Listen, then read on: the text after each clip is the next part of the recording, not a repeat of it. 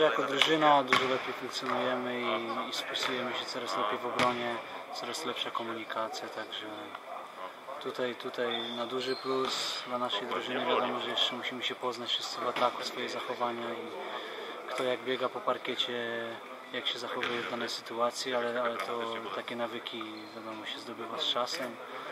No, myślę, że jest, jest w porządku, jesteśmy na, na pewno na dobrym etapie teraz. Mhm, Nowi koledzy zaklimatyzowali się w zespole?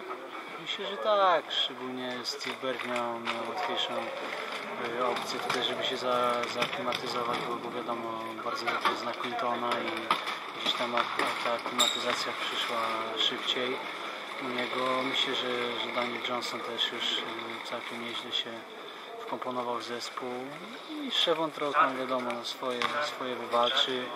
My, my do, do drużyny dołączyliśmy troszeczkę później ze względu na, na zgrupowanie reprezentacji na te mecze kwalifikacyjne, ale też się zgrywamy z drużyną i myślę, że, że na sobotę będziemy gotowi i jedziemy tam na pewno po zwycięstwo. Mhm. Pana zdaniem ten zespół pod względem personalnym jest silniejszy od tego z poprzedniego sezonu?